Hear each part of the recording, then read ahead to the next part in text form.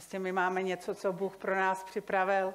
Má to být v nás, má, máme to mít stále, nemáme se nechávat o to okrádat, protože chodí nepřítel, řve jako řvoucí lev, chce nás z toho vytlačit, vystrnadit. A proto je dobré, abychom si to uvědomili a abychom tenhle ten rok se rozhodli, že tenhle ten rok naše potřeby bude naplňovat Bůh. Naše potřeby bude naplňovat Bůh.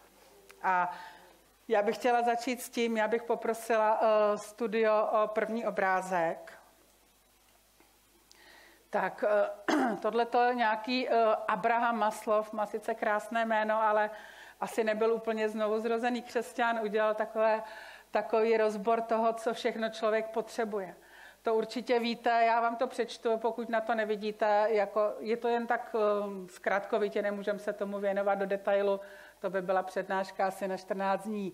Takže každý člověk, a Bůh to do nás zložil, máme klasické fyziologické potřeby. Hlad, řízeň a tak podobně. Pak máme potřebu jistotu, o bezpečí, společenské potřeby, sounáležitost, láska, potřeba uznání a ocenění, to je sebeúcta, uznání, status, a potřeba seberealizace. Takže to je eh, vlastně už starý, eh, vlastně stará pyramida, která je přebírána do spousty míst, firem a dál a tak dále. Poprosím obrázek číslo dvě. A tady ta uh, hierarchie je trošku uh, novější a myslím, že pro nás bude taková rozumnější. Takže to první, uh, to, to zelené pole, to je vlastně otázka přežití. To, co potřebuje člověk přežití. Ano, to jsou fyziologické potřeby stále, jako vzduch, voda, jídlo, spánek. Pak nějaké subjektivní potřeby, to modré pole. To je potřeba něco cítit, prožívat a je to bezpečí pro tělo, pro finance, zdraví, rodinu, blízké vztahy, být milován, být respektován, být hoden úcty.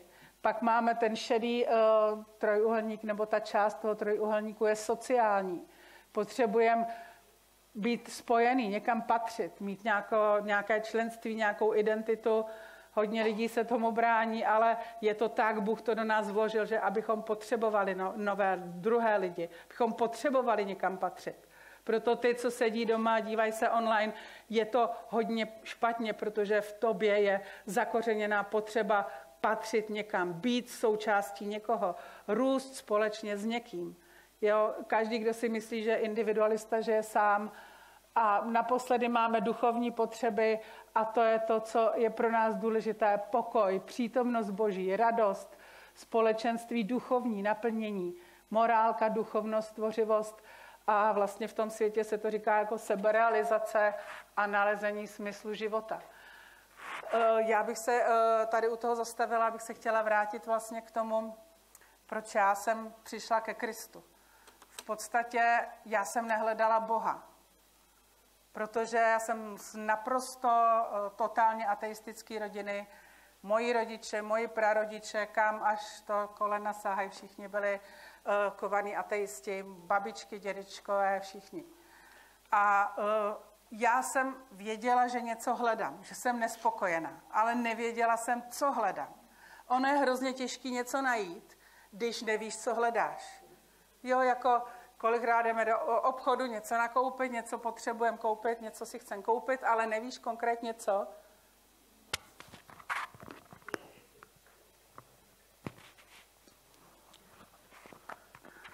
Tak když tak mávejte zase na mě, já jsem cítila, že něco padlo, ale nevěděla jsem kam. Tak, a bylo to slyšet i tak dobrý. Tak, těžko si něco koupíš, když konkrétně nevíš co, prostě těžce, těžko se eh, nakupuje nebo hledá ty věci, nebo něco víš, nebo víš, že si něco ztratil, nebo něco nemáš a nevíš konkrétně co. Nebo hledáš nějakou práci a nevíš jakou. To jsou prostě věci, které jsou tvrdý, těžký, dají se těžko najít. Ale já jsem věděla jednu věc, já jsem byla člověk, který byl naprosto a nekompromisně introvertní jsem neměla ráda se s někým bavit, někým mluvit. Prostě já jsem byla hrozně uzavřený člověk. Ještě něco? Poláme. Aha, dobře, super. Tak, zpráva přišla až asi z Afriky, dobrý, tak mm, bereme na vědomí. Takže jak jsem byla uzavřená, jak jsem neměla potřebu, neměla jsem touhu s někým mluvit, ale přesto ve mně ta potřeba byla, ale já jsem ji nevěděla. Jsem byla ráda, když jsem potkala ve městě moji bývalou kamarádku, tak jsem se jí vyhnula, protože jsem neměla rá, náladu se s někým bavit ale ve mně byla potřeba a já jsem toužila po společenství. Já jsem se totiž vrátila eh, z Kanady, kde jsme byli se známými a já jsem zjistila, že tam lidé žijou jinak než my že se scházejí, že dělají velký takový jakoby párty a ty párty byly úplně něco jiného, než jsem byla zvyklá. Jsem byla zvyklá, když se naše rodina sešla a byli jsme u naší babičky, kam jsme chodili každou neděli, tak babička napekla, navařila, ale hlavně se tam chlastalo. Prostě tam byly lahve vodky, víno, furt se muselo pít a když se pilo trošku víc, tak to skončilo, že příbuzní se pohádali, poprali, porvali. Já jsem to nesnášela. Jsem nesnášela někam chodit a být toho prostě účastná.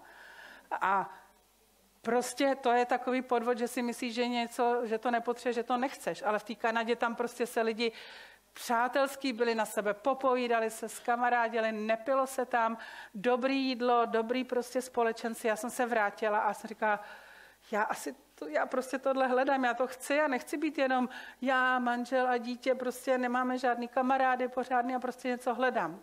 A na základě toho já jsem viděla velký plagát a tam bylo vlastně uh, evangelizace tenkrát taky z Kanady a z Ameriky a že to je o výživě, o tom. A já jsem šla, protože jsem hledala společenství. Já, introvert, jsem potřebovala prostě jiný lidi. Každý potřebuje jiný lidi. Jestli si myslí, že ne, tak je prostě podvedený. A to je hluboká potřeba, kterou Bůh do nás vložil. Každý máme takovouhle hlubokou potřebu. A jak jsem vešla na to schromáždění, na ty, na ty evangelizace veliký, tenkrát v Mostě, tam bylo 200-300 lidí, tak tam jsem se setkala s Bohem, s Božím slovem, s Biblí poprvé v životě.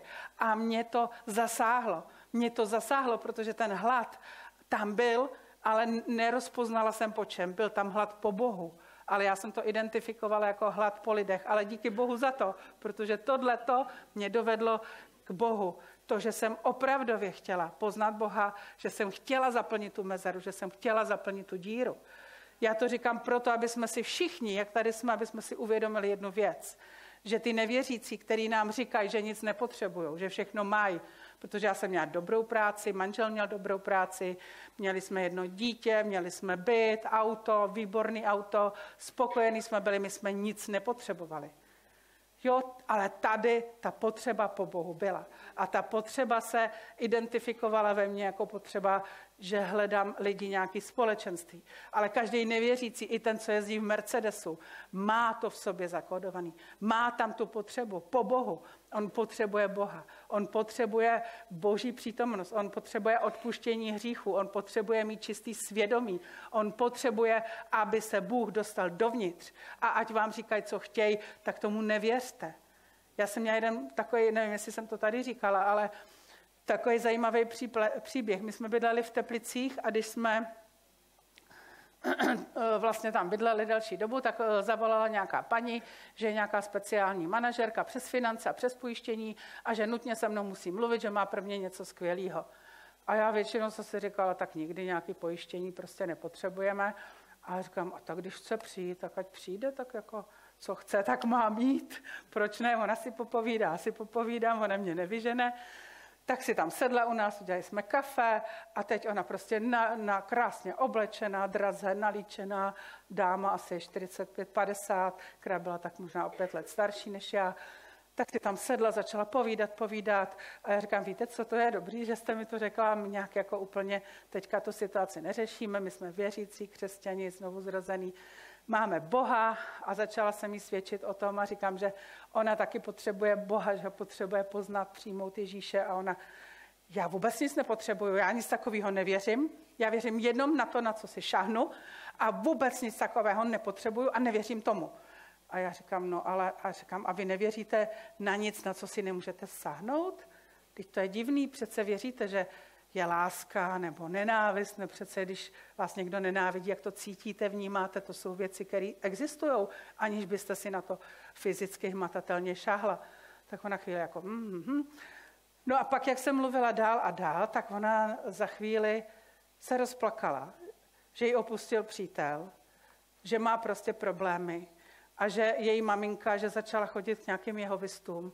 No skončilo to, že ona se modlila a dokonce potom maminku svojí, která bydlela v Lounech, taky přivezla na schromážení do Loun, aby maminka poznala pravdu a nechodila eh, k jeho vystům, který tam eh, házeli nějaký lana, aby ji přitáhli tam. Takže ty lidi, kteří říkají, že nepotřebují nevěří, že všechno mají, to je prostě maska. Oni jsou zvyklí hrát před sebou divadlo, jeden před druhým, jak se mají dobře, jak jsou spokojení.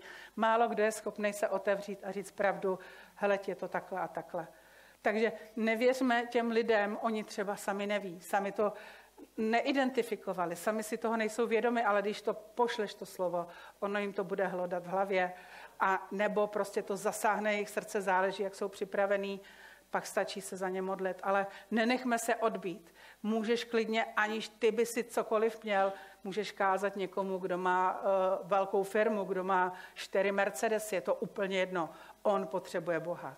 Bůh není pro nějaké babičky. O barličkách. Spousta eh, Čechů si myslí, Bůh je pro nějaké staré babičky, co jsou nemocný a chodí v hulkách, protože takhle chodí do kostelu. Staré babičky s hulkama, nějaký, co si zapalují svíčky, zdravý a člověk, který nic nepotřebuje, nepotřebuje Boha. Prostě nenechme se tím opíjet. Oni prostě třeba ani neví, že to potřebují, ale prostě zasáhněme tím slovem. Tak eh, já bych poprosila obrázek číslo, nevím, jaký tři asi. Bude za chvilku, dobře. Tak, eh, měla by tam být teďka na folii, eh, co Bůh vložil do nás. Tak, Bůh do nás vložil ty potřeby. Bůh je tam vložil proto, aby on sám je mohl naplňovat. Bůh ti tam nedal potřebu po lásce, aby ti naplňoval tvůj manžel. Bůh tam nedal potřebu po, jasně, může tě tvůj manžel milovat, ale potřebuješ se dostat do bodu, že tvůj Bůh tě miluje víc, že ty miluješ Boha víc, že Bůh je ten, který ti dává neustále lásku vyššího levelu, vyšší úrovně. Bůh je ten, který zná tvé srdce, který může naplnit ty potřeby, ty tvý lásky. Člověk, žádný člověk, i když tě bude milovat sebe víc, tak nikdy ti nedá a neudělá to, co ty potřebuješ, nebo to, co ty si představuješ. Já jenom úplně nějaký kratoučký. Uh, můj manžel vždycky, prostě když nám chtěl udělat největší radost, tak nám z obchodu přines koblihy posypaný cukrem, který ani já, ani Bára jsme neměli rádi, ale on je miloval a on myslel, že když on je miluje, že to pro nás bude to nejlepší, ale prostě to nemohl pochopit, on už vždycky to udělal. Jo, takže ten člověk, ať se snaží sebe víc, sebe úporněji, co chce udělat to nejlepší. On nemá ty kapacity, nemá to rozpoznání, Bůh to má. My musíme vědět, že jakoukoliv naši potřebu musí naplňovat Bůh. Musí naplňovat Bůh sám. Že když to čekáš od lidí, když čekáš od lidí, potřebuješ úctu a respekt, že jo? Potřebuješ různé věci a přijdeš do církve a tak oni mě zase nepozdravili. Zase mi nepřišli podat ruku. No já už do té církve prostě nejdu. Dneska šla kolem mě, vůbec se na mě neusmá, nepozdravila mě. Já už tam chodit nebudu. Jasně, potřebuješ úctu, respekt. To máš u Boha, Bůh ti to dá. Já dneska běžím, protože mi třeba křičí za rohem dítě, tak tě přehlídnu nebo nevidím nebo mi to tady zase padá, mám asi nějaké špatné ucho. Já jsem si říkala, že když ten mikrofon v ruce, že to je dobrý, protože že se máš čeho držet. Že to je takový, že když nevíš co, prostě, ale pak jsem říkala, když se držíš Boha, nepotřebuješ se držet mikrofonu. Bůh je moje kotva. Haleluja. Takže co se děje? Svět na nás vytváří neuvěřitelný tlak, aby jsme se chovali jako nevěřící, aby jsme se sami starali o ty naše potřeby, o jídlo, o peníze, o přátele, o to, o něco, co, aby si si zařídil něco, co ti dodá prestiž. Je to pro nás hrozně důležité. Ale my potřebujeme vědět, že Bůh se o nás stará. Poprosím další uh, obrázek. Ano, my se staráme o jídlo, o peníze, aby jsme měli přátelé, prostě furt děláš nějaký akce, aby to prostě uh, bylo od tebe zorganizovaný. Nedáváme to Bohu, neočekáváme to od Boha. Můžeme další obrázek. Tak, teďka jenom mi tady dořekněte ty začátky veršů. Nestarejte se, co budete jíst. protože to je verš, který bychom měli znát úplně. A hledejte nejprve Boží království. Tak já vám řeknu, že jsem přišla tady do té církve a pořád bylo, hledejte nejprve Boží království. Já už jsem ten verš neměla ráda. Já už jsem neměla ráda ten verš, protože jsem to ne, já jsem nemohla. Říkám, já se modlím, postím, čtu Bibli, poslouchám kázání a pořád máme problémy. Pořád máme problémy, jak mám víc ještě to boží království hledat. Jak to mám udělat jako prakticky, co to, má, co to znamená, když já všechno dělám a nic se nemění. Dlouhou dobu jsme měli velký finanční problémy, tlaky, útlaky ze všech stran prostě. Na finance, na práci, prostě bylo to neuvěřitelné. A já říkám, bože, co to je za verš, hledejte nejprve Boží království a všechno nám bude přidáno. Nám nic není přidáno. Prostě já jsem úplně trpěla s tím veršem. A pak, když člověk to prostě přijme, že to je to, že Bůh je s tebou, že je v tobě, že seš boží přítomnosti. Že neustále máš eh, ducha svatýho. Že prostě to je to, že se spolehneš na Boha. Že není to, že Bůh, ti dá, Bůh mi dal sílu, abych šla do zastavárny, něco tam prodala. Jo, prostě jsem dělala různé aktivity, ale to není to správné se spolehat na Boha.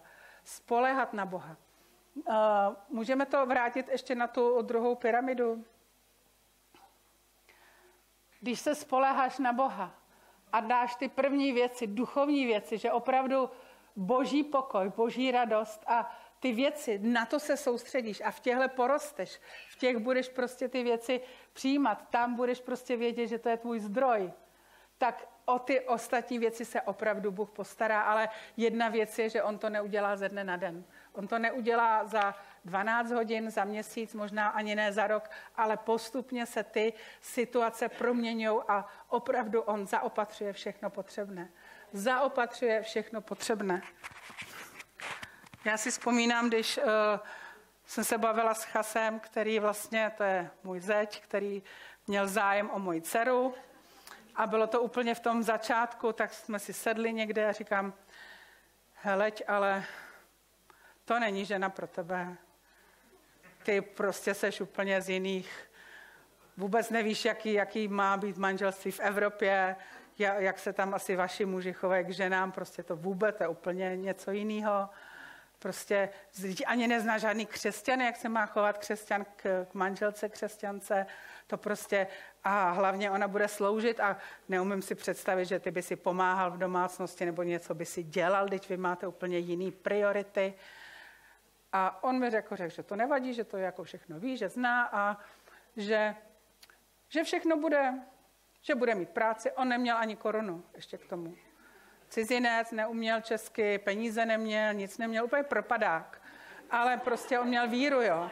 On tam seděl a říkal, ale všechno bude, budeme mít auto, budeme mít barák, všechno budeme mít. A říkám, to není možný, kde to bere takovou drzost ale prostě to je to, že opravdu žiješ a spoleháš se na Boha, protože víš, že ty na to nemáš. Nemáš na to vzdělání, nemáš na to jazykové prostředky, nemáš na to vůbec nic, ale máš Boha, který má všechno. A máš Boha, který pro tebe všechno udělá.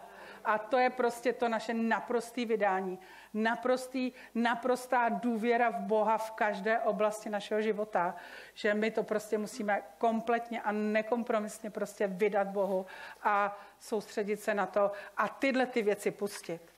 Jo, Bůh říká, tu starost dej na mě. Nemám něco, tak to dám na Boha. Prostě ne, nebudu běhat a schánět brigády navíc, nebudu chodit na čtyři brigády, abych si viděl. Prostě tam to, bože, my nemáme, potřebujeme, Bůh zaopatří. Ale nesmíš to vzít do ruky sám a dělat ty věci sám. Můžeme se posunout na další uh, obrázek. Tak ještě dál, ještě za tohle, ještě za tohle, výborně. A proto dochází k tomu, že jsme zklamaný, protože čekáš úctu a respekt a vděčnost od lidí ale tu ti dává Bůh. To, že já tady můžu stát, tu smělost mi dává Bůh, tu drzost mi dává Bůh, protože já, kdybych měla čekat, kdybych měla dělat nějaký interview, hele, kdo chcete, abych tady dneska kázala, tak tady asi bych nestála vůbec, protože já nemůžu čekat od lidí, lidi chtějí něco jiného, prostě Ne, Bůh to chce, Bůh mě k tomu vybaví, on mě k tomu pomaže, nebo nepomaže, je to na něm. Prostě já jsem mu řekla, bože, já to vzdávám, je to na tobě, co, dělej, co ty umíš. Čekáš za opatření od lidí. Máš nedostatek, tak řekneš, tenhle ten má peníze, ten by mě měl pomoct. Nebo ta církev mi má pomoct. Prostě ty jasně víš, kdo by ti měl pomoct a jak. Ale Bůh ti chce pomoct svým způsobem. My, když jsme se nastěhovali do Teplic, tak Bůh nám pomáhal skrze nevěřící. Skrze nevěřící nám finančně pomáhal s jídlem. Prostě Bůh má svoje cesty. On chce někomu požehnat, nějakému nevěřícímu, chce, aby byl spasen. Tak si z toho nedělej hlavu, nedělej si z toho starosti. Čekáš bezpodmínečnou lásku od blízkých. Bezpodmínečná láska od tvých nejbližších nepřijde. Bezpodmínečná láska od tvých blízkých nepřijde. Bezpodmínečná láska v té stoprocentní podobě přijde jenom od Boha. Jenom Bůh ti může dát tu největší hodnotu. Jenom On tě zná dokonale. Jenom On ví, co tě uspokojí, co potřebuješ. Uh, chceš od Boha pouze pomoc, aby ostatní viděli, jak jsi dobrý, zbožný, svatý a tak dále. Obracíme se na Boha se špatnými motivy. Bože, pomož mi, aby viděli všichni, jak krásně hraju a jak krásně nevím, co kážu. Jo, prostě já tady nejsem kvůli tomu, že si myslím, že něco umím a nechci, aby mi Bůh pomohl, aby to všichni viděli a všichni padli v úžasu. Ne, to je prostě boží věc. To je boží věc, jestli to někdo přijme, přijme, nepřijme, nepřijme. Není to moje starost a chceš získat radost z věcí, z lidí nebo z okolností. Naše radost má proudit z toho, že máme Ježíše Krista, že máme spasení. Můžeme tam dát další obrázek. Díky jeho přítomnosti máš boží pokoj a radost. Něco, co je nevypravitelný, ne, nepoznatelný světem, něco, co se nedá najít ve světě, nedá se to nahradit a je to něco mimořádného. Jsi milován stále a bezpodmínečně a můžeš se cítit milován. A to ti dá tu jistotu. Prostě když já vím, že jsem milovaná, tak já nemusím lítat a modlit se každou noc. Pane Bože, dej mi manžela, manžel mi umřel, dej mi manžela, já potřebuji manžela, já to, mám málo peněz, mám malý důchod, dej mi manžela. Ne, prostě Bůh mě miluje. Já jsem zamilovaná do Krista, já nepotřebuji schánět manžela. Bůh mi dá peníze, já nepotřebuji manžela na peníze. Bůh mi dá prostě ty všechny moje potřeby naplní Bůh, já nepotřebuju tohle dělat. Jo, někdo někomu umře a ten člověk hned začne lítat a já tady ta sestra je dobrá, ta je, ta je rozvedená, ta by byla dobrá. Ne, já mám Boha. Já mám Boha a já mám takovou svobodu v tom a takovou radost, že nic nepotřebuju, protože já mám všechno v něm a já opravdu si přeju, aby jsme to měli tenhle ten rok. Tu jistotu a to naplnění v Bohu, v našem Bohu máš, můžeš někam patřit, protože jsi součástí jeho těla a ta potřeba někam na, patřit je naplněna. Máš bratry a sestry, novou rodinu. Máš možnost růst a naplnit boží záměr a jeho plán, to je úžasný. Některý lidi nemají tuhle potřebu. Některý lidi mají potřebu jíst, pát, spít a mít rodinu a tam to končí. Některý lidi nemají vyšší potřeby. Ale my jako boží děti máme mít máme mít potřebu růstu, naplňovat boží plán. Posuneme se na další obrázek, prosím. Takže hledejme nejprve boží království a jeho spravedlnost to je to, hledejme ty duchovní věci, aby jsme měli boží pokoj, který nám ďábel neukradne, aby jsme měli boží přítomnost, kterou si nenecháme vzít, aby jsme měli společenství s bratry a se sestrami, kteří věří eh, správným způsobem, kteří věří správně, jsou znovu zrozený, znají Boha osobně, abychom měli naplnění morálku, duchovnost a potom toto všechno nám bude přidáno. Ty sociální, subjektivní přežití to nám bude přidáno, o to se pak stará Bůh, protože On je v nás, On vidí, že mu důvěřujeme, On ví, že to přijímáme od něj, On má všechno pro nás připravený. Můžeme na další obrázek se posunout. Tak mě hrozně nadchává tadyhle ten verš. Velice se budu radovat ti v hospodinu. Já jsem vzala radši kralický překlad, protože já si ho pamatuju ze začátku mý křesťanské éry. A plésati bude duše má v Bohu mém, neboť mě oblékl v roucho spasení a pláštěm spravedlnosti mě přioděl, jako ženicha, který se strojí ozdobně a nevěstu okrášlující se svými ozdobami. Máme se radovat v hospodinovi. Naše duše má jásat, protože Bůh nás spasil, zachránil, všechno udělal, všechno udělal eh, do minulosti, do, do budoucnosti. A Žán 5, 12, ať vás provází tenhle rok. Kež se radují všichni, kdo v tobě mají útočiště, na věky budou jásat a ty je budeš chránit. Kež se z tebe veselí ti, kdo milují tvé jméno. Máme se veselit a radovat z Boha.